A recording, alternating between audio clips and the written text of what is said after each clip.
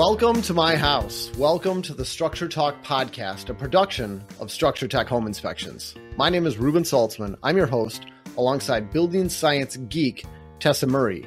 We help home inspectors up their game through education, and we help homeowners to be better stewards of their houses.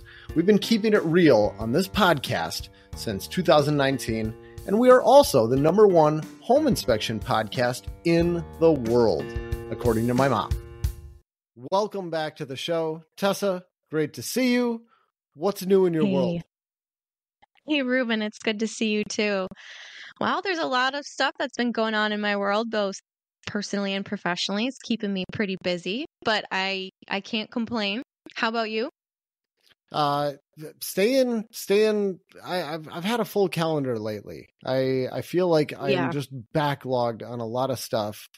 I ended Oh, up same. uh, I ended up teaching in Seattle for this uh, for this home inspector group there. I, I did my first. It was my first time teaching for six hours. I've always said wow. if I'm gonna what? teach somewhere, I'm I'm no more than four hours. That's my limit. Four hours and I'm done. But I was the only speaker for this one, so I, I agreed to do six Wow. hours, and that was a marathon. It was long. Doesn't it give you that much more respect for people, you know, in the industry that can literally present for six hours straight or eight hours or do a, you know, a two day conference or something like that? It is, it takes a ton of energy to do that.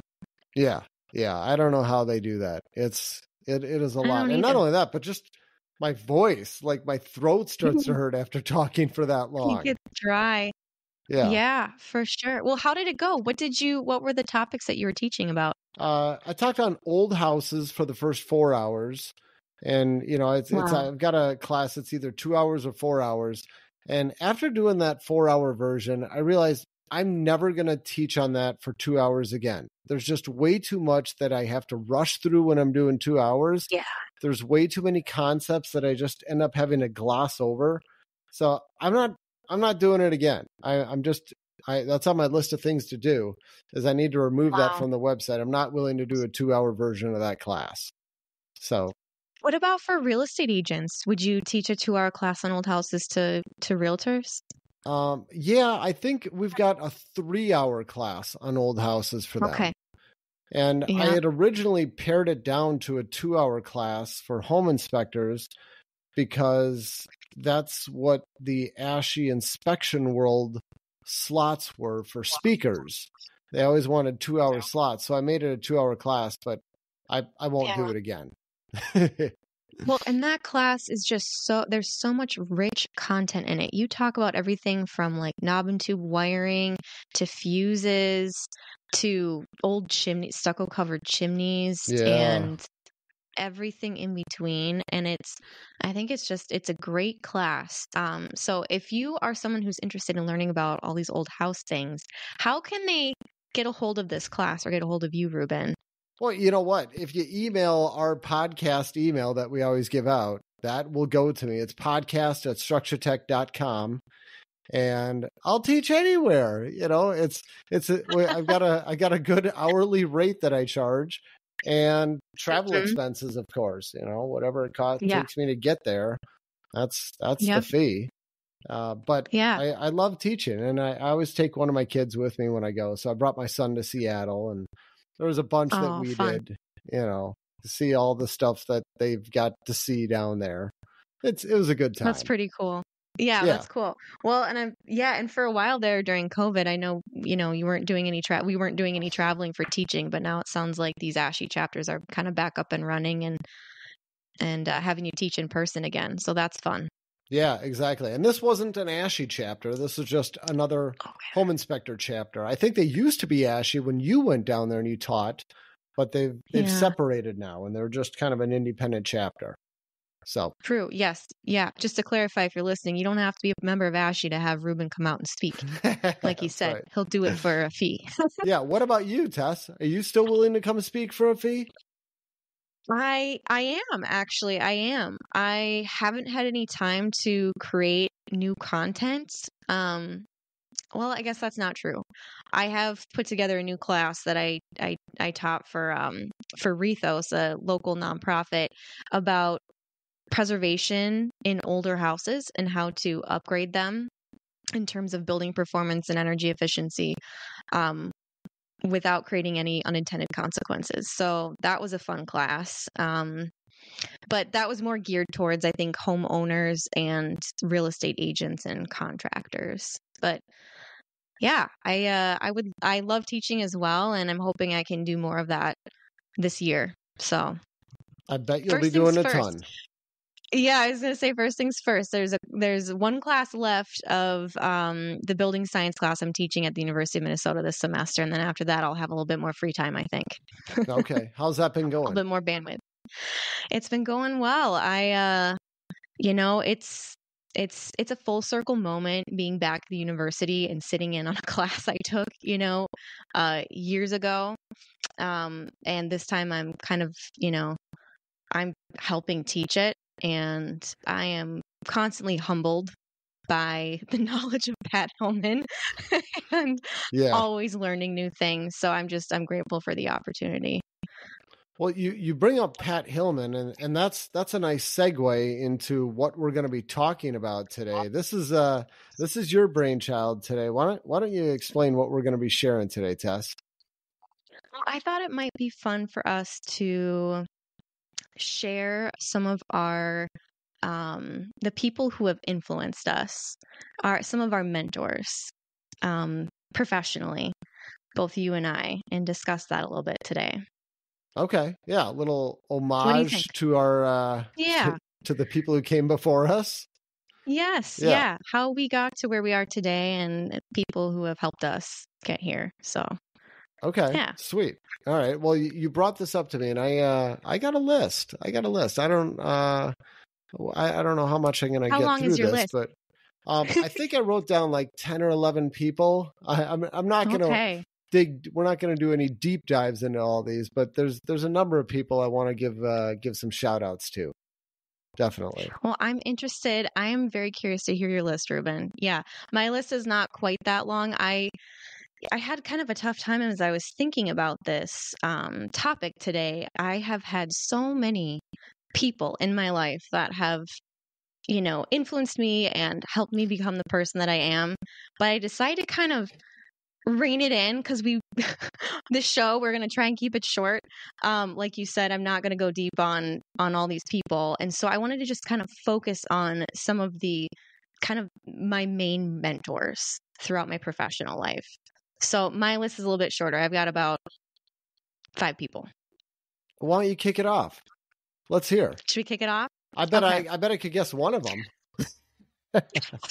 You're right. You're right. So let's start let's start with him. Let's start with Pat Huelman. So everybody knows we've had Pat on the show.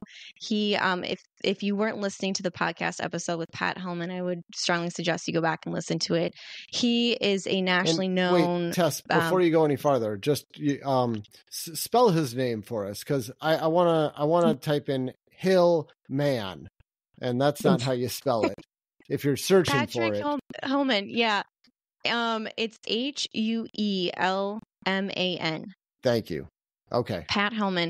Yes. And uh, he's been a you know professor at the University of Minnesota for decades, I think since the 80s or 90s. He was part of the cold climate housing um, division, and he's done a bunch of research, uh, Department of Energy research, and uh, various other things. He's he's kind of one of the original the, the way that I look at the original uh, godfathers of building science, of what we know of building science today um, in yeah. the US. And so he kind of got into it. He has an engineering background and he kind of fell into this back in the 70s during the energy crisis. And, uh, and as we were making our houses better insulated and more airtight, then we started having all these moisture problems. And so he was there at the very beginning of that trend, trying to figure out what was going on and how to fix it. And so he is a brilliant mind and he is always kind of thinking about if this then that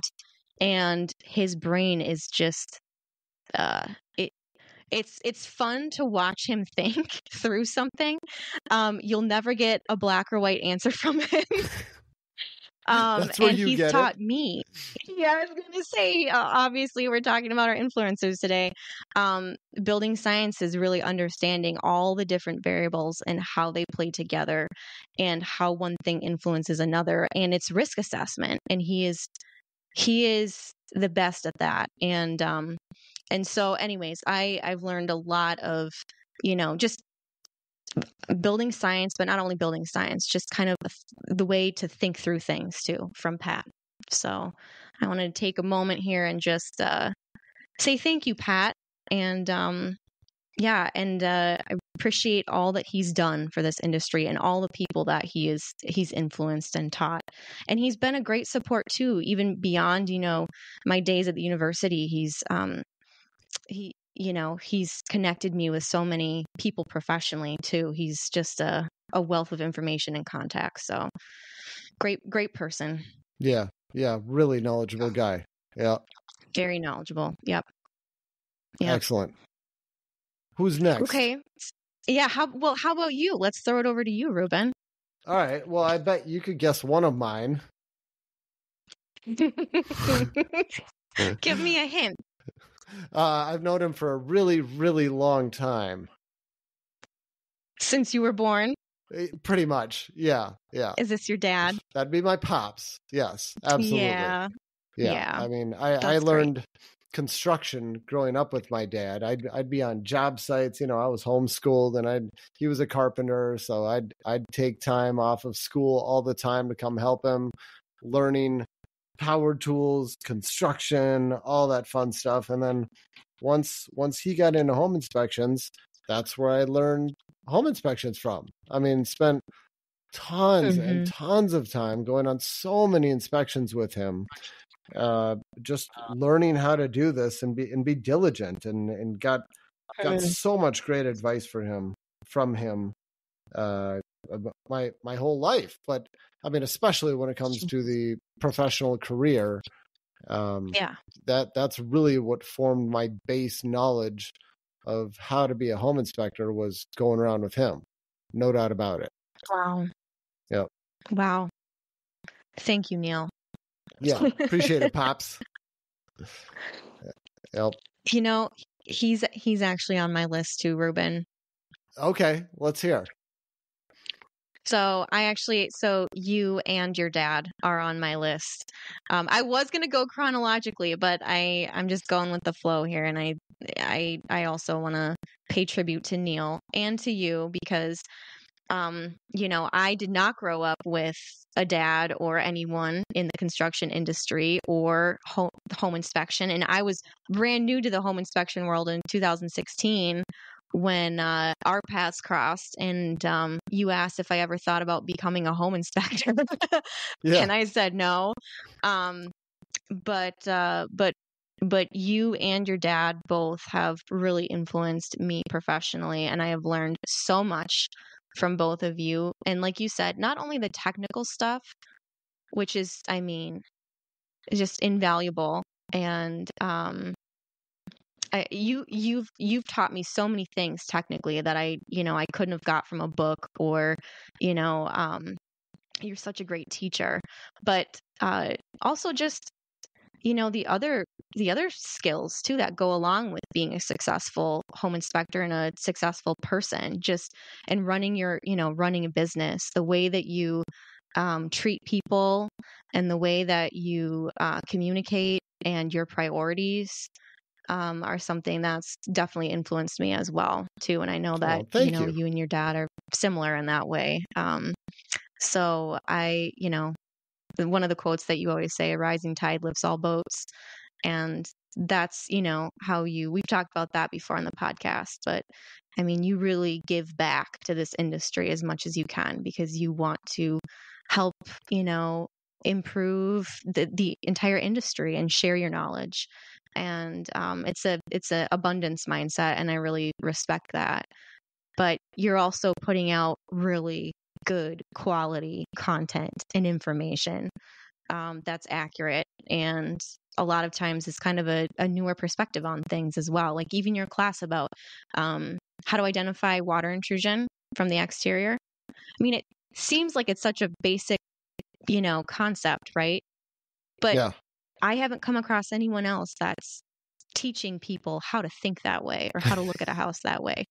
And it's it's so critical. It's it's one of the most foundational things I think when you're assessing, you know, a house and its potential failure points or building performance issues or durability problems. It's it's looking at a house like that through that lens. And so I, you know, that's just one example, but but both you and your dad have just been really influential in my life. Oh, thanks, Tess. Appreciate it. Well, you, you you bring up the part about rising tide lifts all boats, and I, I'll, I'll go a little bit out of order here too. Uh, there's there's a guy who I, I I feel like I've really modeled a lot of my drive to educate the profession around Mm. the late Jack Pixley. This guy was Yeah. a, a chimney professional. He was a chimney contractor and, and an educator and a chimney inspector. And, and this guy would go all over the country teaching chimney contractors all all about chimney inspections and how to do a better job.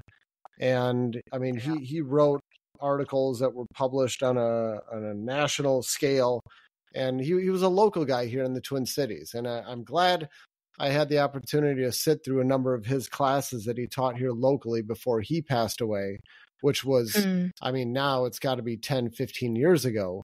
It's been a while, Wow. but um, I, I, I remember picking that, just really gravitating or grabbing onto that idea that a rising tide lifts all boats. You make the industry Hmm. better and everybody does better. It's not like you're improving your competition, you're making things better for yourself too.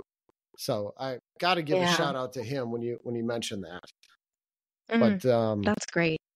yeah, Yeah. yeah and but but going back uh, a couple of other people that i've i've learned Yeah. a lot from uh, uh, another just og in the home inspection field here would be dwayne erickson and Yes. Oh, yes. Yeah, Dwayne. yeah he he was with structure tech since my dad bought the company in 97 he had started a year prior to my dad buying the business so he was with structure tech forever and i learned a ton from him i mean i, I went on more inspections with my pops than i did dwayne but i still went on a ton of inspections with dwayne i mean i learned a Yeah. lot from him about you know just poking and prodding and being curious and finding water problems and just never stop Talk about curious. spidey senses. He had the best spidey senses, didn't he? Yeah, yeah, he absolutely did. It's like he just he just knew where to look.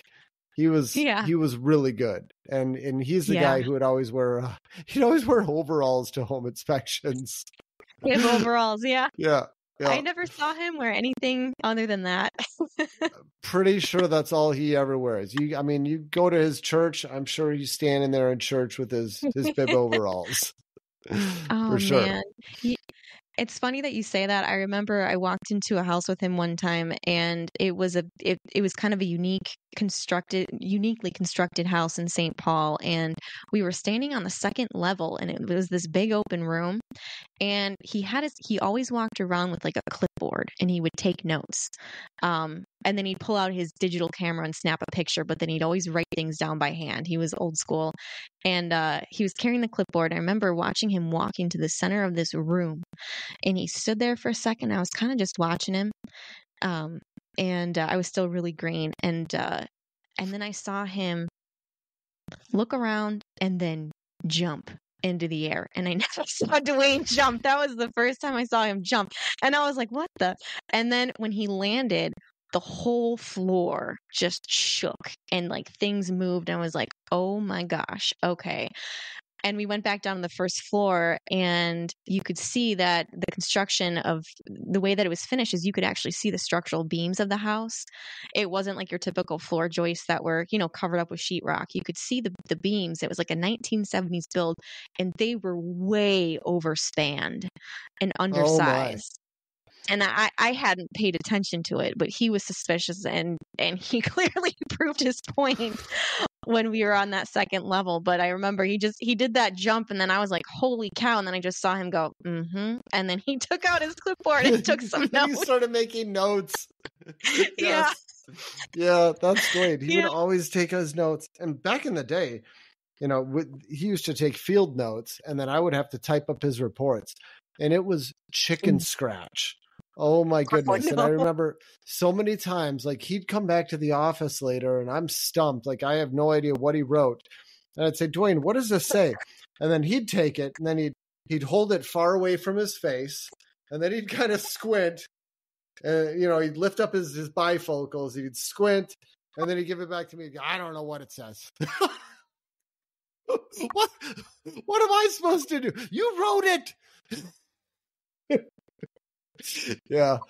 Bad writing, but usually I can tell what I've written. That's hilarious. Yeah, yeah, same so, here.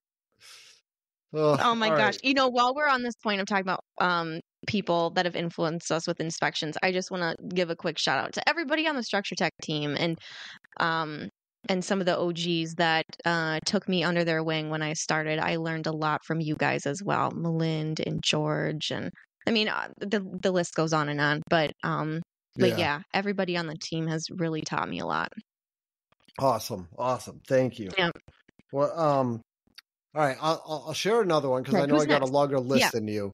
Uh, yeah, you another do. one. Your turn would be Mike Mosier, and he's a hmm. guy who did. He was like the truth in housing king in my mind. That's these single item inspection, not single. It's these required city inspections that you got to do in Minneapolis and St. Paul and a bunch of other cities before you can list a house for sale and it's kind of like a miniature home inspection. They take about an hour to conduct. You got to be licensed in the city that you're going to be doing it in.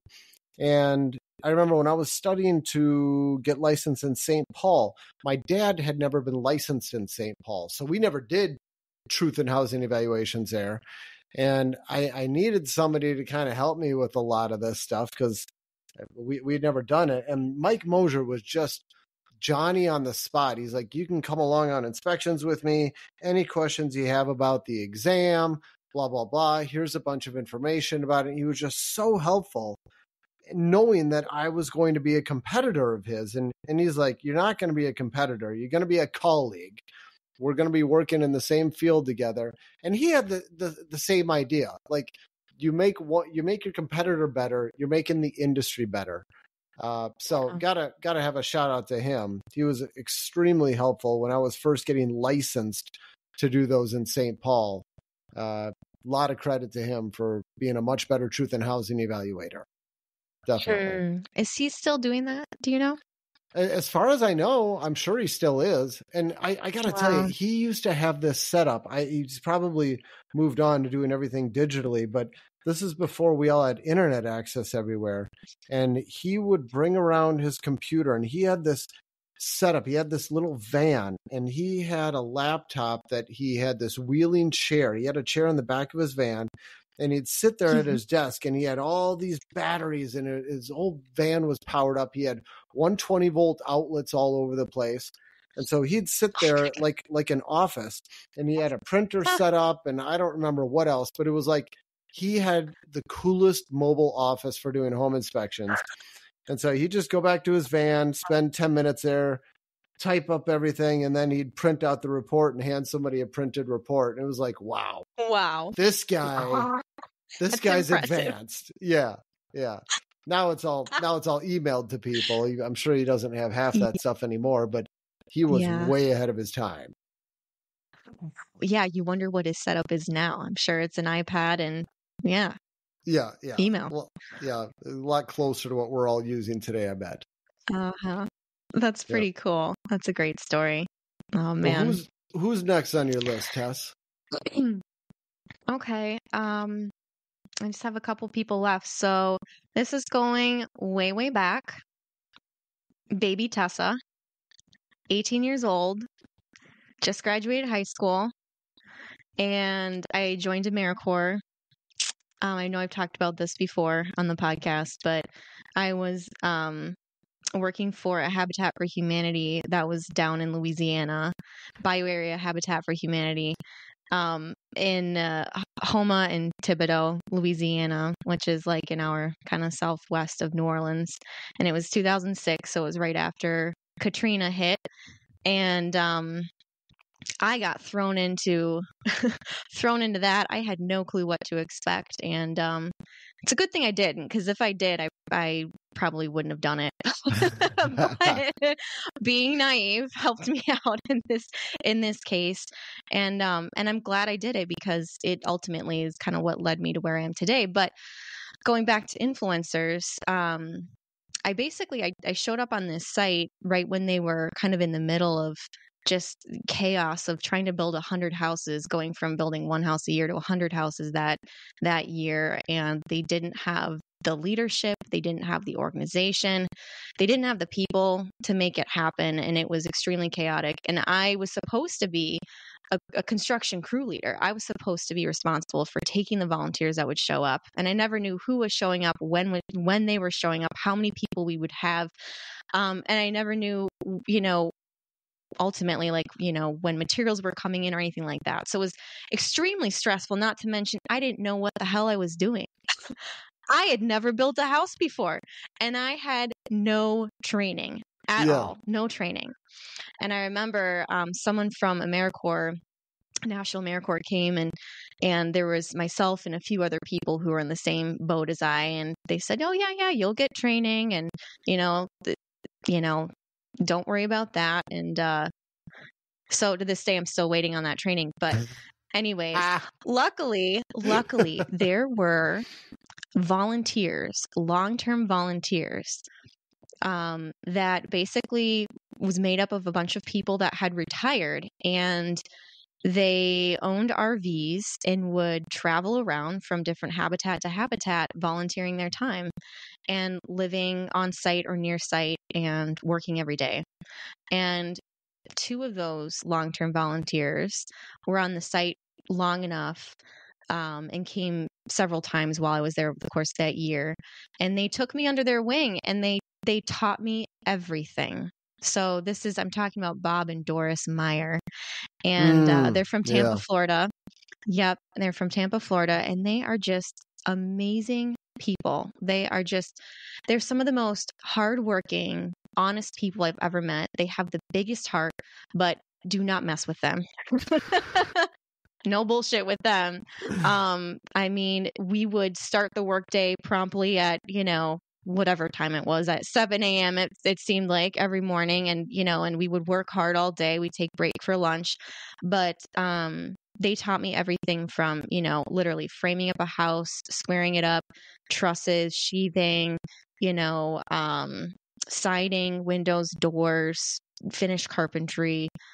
All of that um, was from them. And because of their patience with me um, and their generosity, then I was able to you know, uh, do what I was hired to do, which was be a construction crew leader. So luckily, they came in early enough, and I was a fast enough learner that after they left the site, I was able to take groups of volunteers and other AmeriCorps that came and show them what we had to do and how to do it, and do it to the best of my ability. So um, I really appreciate uh, you know, who they are as people and how generous they are. And they did this all without pay. They were just volunteers. I can't tell you how many I have no idea how wow. many houses they have helped build, but it's it's in the hundreds. And I and I know they've worked with probably thousands of volunteers. And they still do it to this day. They still volunteer like that. They cannot sit still. Um, I think they're in their early 70s. Um, and uh, and they're the people that you know before COVID we were getting together like every January in Florida and, and doing a habitat habitat build reunion with a bunch of friends. So I still keep in touch with them, and they have a special place in my heart. And uh, yeah, they uh, they definitely helped chart my course to where I am today. Well, thank so. you, Bob and Doris. Awesome. Thank you, Bob and Doris. Yeah. Yeah. Yeah. Yeah. Inspirational people for sure. I want to be like them when I grow up. I don't I don't have their energy though. Their stamina. Can't keep up with them even when I was you have 18. to ask them what their secret is. Oh my god. Some people are just born with that, you know? I, I agree. Yeah. Yeah, definitely. Yeah. You and your dad included, Reuben. you guys are like that. Yeah, I try to keep up with my dad. Yeah, he's got a motor for sure. Yes, he does. Yes, he Yeah. does. Yep. Yep. Okay, so how about you, Reuben?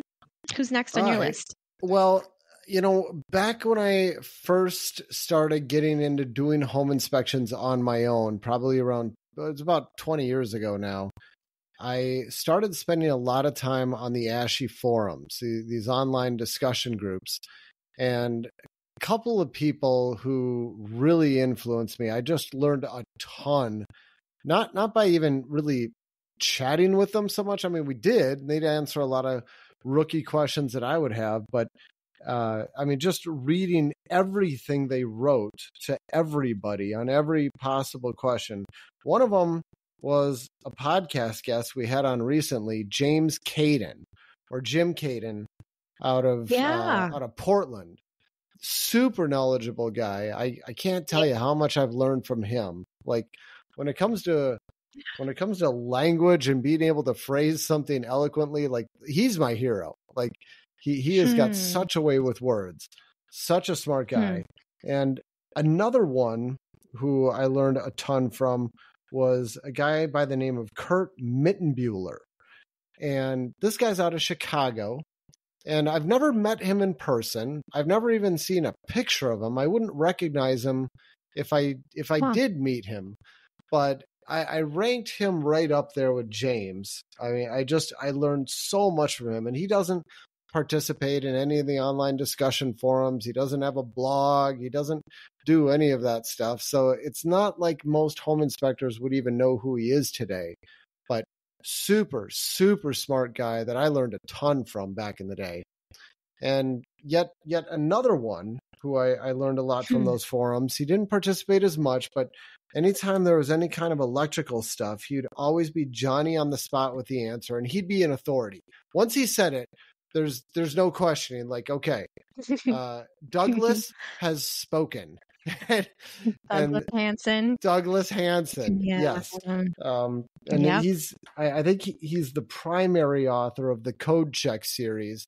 And these Code Check Yeah. books, I mean, I, I don't know if they're still there, but I remember, I mean, if you went to a Home Depot or any home improvement store, they'd always have a tiny little literature section, and you'd find the Code Check books there. And i i in my mind, it's it's the best resource possible to understanding what the building codes are trying to say. You know, the building codes are not written to educate people. The building codes are there to tell you what the code is, to, to Yeah. help code enforcement officials have an authoritative reference.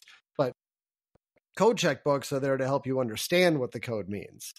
And Yeah. the- just so so helpful. I mean, and I- I'll tell you, if you're if you're a home inspector and you don't own the code check books, you need to get the code check books. you, you just Google code check, you will find them. the The latest one, Yeah. I'm reach back on my desk here is uh, Code Check Complete Third Edition, and this is a spiral bound book, so you can easily flip through pages. and And this thing it, it covers it covers uh, building, plumbing, mechanical, and electrical.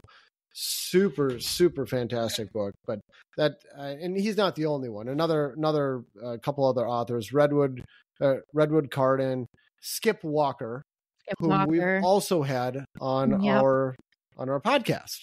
So l- learn a to ton Skip. through those guys. Yeah, shout out to Skip. yeah. And you know what? On that topic, I just one more in that same vein would Yeah. be somebody else whom I started to know. Once I started blogging, I started sharing a lot of my blogs on this site called Active Rain, which was really more for real estate agents. And I got Hmm. to know a number of other home inspectors who were blogging. And one of the most prolific bloggers out there back in the day, he doesn't do as much anymore, it would be uh, Charles Buell. You know Charles, right? Yeah. Yeah. I'm glad you brought up Charles. Yeah. Yeah. We haven't had him on the podcast, have we? Oh. I don't think we have. Wha- We need to get that fixed. We need to get Charles What's on wrong the podcast. what is wrong with us? We do. Yeah. yeah. Charles is also a super knowledgeable guy, very well spoken. And I, I just uh I just Yeah. had breakfast with him when I was out in Seattle. That's that's Did where he is. Yeah.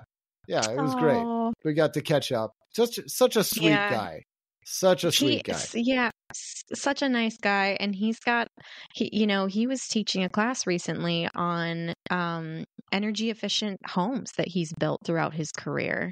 It's a passion of his, and he's yes. kind of done some alternative building methods that are very affordable but extremely uh, efficient and perform well. And so that was, yeah, he's just a really interesting guy, nice guy. He is, yeah, and and he was Yeah. doing it way before it was cool. I mean, he's got he's got Yeah. these black and white photos he took from homes he was building in the seventies. like he's been at this for a long time. Yeah, he knows what he's talking about. Yep. Yeah, Yeah. right, well, I'm Tess, glad I'll you. throw it I'm, back to I'm you. glad you brought up those people. yeah, Okay, so I'll make this one brief. Um, uh, kind of during my college days and and uh, um, pre home inspector profession, um, I spent some time in the weatherization world, and that really taught me a lot about. Um, you know, kind of the practical application of building science, thinking about the different systems and, you know, how they are all integrated and function together. And so I was doing um, a lot of kind of testing for the first time of looking at different ventilation appliances and how ventilation might impact combustion safety and doing worst case depressurization testing on water heaters and furnaces and making sure, you know, there wasn't carbon monoxide coming back into homes once ventilation was added and making houses more energy efficient and airtight and better insulated. And a big part of that too was learning how to do blower door testing and infrared imaging. And so there's there's people from that time in my life that really taught me a lot. And um, a couple people, Bruce Stahlberg, we've had him on the podcast. yep. He um extremely knowledgeable. He's been doing blower doors and IRs and weatherization stuff for a really long time. And he he knows so much about mechanical systems and everything too. So I really learned a lot from him. Um, and then some other people when I worked at Sustainable Resources Center as well, Jake McAlpine, Sadie. Um, there's a there's a the list goes on and on. I'm just very thankful for the training that I received from all those people in the weatherization world and um, and the tools that they taught me to use and how to actually interpret, you know, real live data on building air tightness and pressures and you know mechanical systems and all of that. So Yeah. Awesome. yeah. Awesome. Okay. How about you, Reuben? All right. Well, winding down the list, uh, two, I'll just kind of put them together. Back when I first, again, when I first started getting into doing home inspections, 2004, I started taking a ton of building inspection technology classes through North Hennepin Technical College, North Hennepin Community Technical College. I can't remember the exact name of it, but they had this really cool program. It was a two year program on Hmm. being a building inspector, not not not a home inspector, but Okay. uh, you know, working for a city. And Yeah. today they've stripped it down to just about well, actually, I, I haven't even looked recently. I don't know what's available. But the last time I checked, they had stripped it down to basically four classes, kind of teaching you how to read a code book. But back in the day, they had classes on like how to read a code book. They had the intro, they had commercial, they had legal aspects of code administration, they had electrical, they had plumbing, they had mechanical, they had air.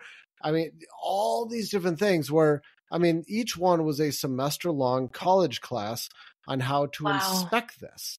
And it's it's unfortunate they don't have this program anymore because I it was fantastic. There was some really good stuff. And a couple of the Hmm. instructors that I ended up taking a lot of classes with and just learning a ton about houses and and code administration was was Roger Axel, whom I think we've had on the podcast. If we haven't, we we ought to. I don't. I don't think we have. Well, all right, I I need to reach out to him. I have to go Uh, back and check. Just a fantastic instructor, and another one, a name that you'd probably know is Don Sivigny. You recognize that name? Yeah. Yes, I do. I just saw him at a at a CE event back in December Did for you? Share Okay. Brothers. Yeah, Mhm. I, I can't remember. there, yep. he, he- he's so good about everything. I mean, he's just fantastic instructor, and I can't remember Yeah. his title, but uh, the the best that I can remember, he's a bigwig with the state. that's that's Yes, the best way to put it. He's he's very heavily involved in overseeing all aspects of code administration at the state of Minnesota. Tessa, you got that look in your eye. You're looking him up, aren't you? I what? am supervisor of education, code development, code adoption, and grants programs at the state of Minnesota. Yeah, so big wig works. He huh? has on LinkedIn. I don't know how how up to date LinkedIn is for what his current status is, but yes, he's he's at the top of the food chain. yeah, for sure. Yeah. Super smart guy. I'd love to get him on here yeah. too. And then yes. Uh, I'll just yeah. I'll just finish with my last one. Back in 2014, when we purchased Private Eye, it was another home inspection company and moisture testing company. The the owner there, Barry Eliason, I, I consider kind of the godfather of intrusive moisture testing here in Minnesota. He he kind of kicked it all off back in the very late 90s because he knew that there was problems with all these stucco houses. So he went out and got the mm-hmm. training and kind of developed his own method for doing intrusive moisture testing. I mean, he was a self-taught guy and now wow. anybody who's doing moisture testing in Minnesota, as far as I know, they're they're following his methods and I, wow. I learned a ton about stucco and water intrusion on all types of houses, not just stucco, and a lot of mm. super cool tricks that I now teach in my water intrusion class. That was the other two hour class that I taught when I was in Seattle. Okay. Um, yeah. Love teaching Good. all these tricks, and I owe a ton yeah. of it to Barry Eliason. So, got to give a shout Very out to cool. him for being a great teacher too that rounds out my list. Yeah. Okay, okay. Well, perfect. I just have one more person on my list. Let's hear it. So, um, Tom Schirber. And um, Tom, this is a, I'm a little bit emotional about this because he actually just passed away like a month ago. Um, oh, no. Unexpectedly. Yep. Uh, he passed away in his sleep um, visiting his family out in California. Oh. He, yeah. So I was just at his celebration of life um, last week, but um, he is definitely someone who's influenced me um, and helped me get to where I am today. And uh, I worked with with Tom um, back at the University of Minnesota after I graduated, um, doing research uh, for Department of Energy the Building America program, but um, it's hard to encapsulate who Tom was because he was so many things and he was he had so many skills and talents, but at the heart of it, he was a good human being that was trying to help other people and he had a passion for affordable housing and he worked with minneapolis um, he he was always trying to um, you know uh, improve the housing market and deal with policy. And then he was also boots on the ground, volunteering and helping at homeless shelters. Um, but he was also he was a contractor and he was an entrepreneur and he uh, he was it, it's fun so my time working with him at the University of Minnesota, I was working with him and Pat, and I would say they were they they complemented each other nicely. Pat was the, you know, the academic, you know, building scientist, uh, as I mentioned before, always kind of seeing the pros and the cons and the the gray area and never having a black and white answer. And Tom was was the yin to his yang. They were complete opposites. Tom was like, "Okay, Pat, that's great in theory, but what about the real world? That's not going to work." And he just had this ability to kind of know, you know, what to do um, you know how to fix problems. He was very practical very hands-on and always helping people with their projects too. He he flipped and built and reconstructed a lot of houses in his lifetime and helped his kids with that and and friends and um, he was he was a scholar but he was also kind of a jack of all trades and so very talented person but um he will be missed um and uh and and actually today is his birthday. No Wow. Yeah. Yeah, I think he would have been, I think 73, 72 or 73 today. So mm. thinking about him today, and I'm glad that we had this opportunity to kind of talk about people who have mentored us and influenced us. But Tom Schirber was definitely someone who helped me look at building science in a practical way. So I really appreciate the impact he's had on my life. Well, appreciate you sharing that, Tess. Yeah. Yeah. Yeah. Yeah. We could keep right. going, I think, couldn't we? I think so we've got a, many. I, Yeah. so many people. Yeah. And I'm sure I'll think of more people after we finish recording. But um but yeah, I am I am grateful to have so many wonderful mentors in my life. Yep. Yep. Well, uh, for for anybody listening, take take a minute to thank your mentors. this is Mhm. uh yeah we we we all learn from those before us nobody's nobody's an island in this business you got to rely on other people um, So true. yeah So true.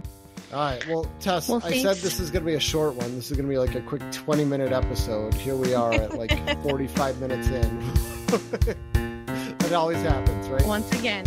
Yeah, once again. Yep. yep. All right Well, so how do people reach us, Reuben? You wanna Uh, again, you can email us. We read all of them. It's podcast at structuretech.com. I'm Reuben Saltzman for Tessa Murray. Thanks for listening. Take care.